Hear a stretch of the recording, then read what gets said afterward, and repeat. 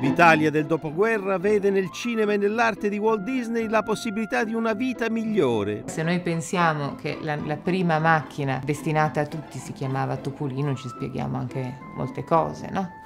Era proprio molto simpatico. Si venne a prendere all'ingresso di Disneyland guidando una banda che suonava proprio il motivo di Gelsomino dalla strada. Se puoi sognarlo, puoi anche farlo. Che non vuol dire rimanere dei bambini, ma vuol dire non dimenticarsi di esserlo stati.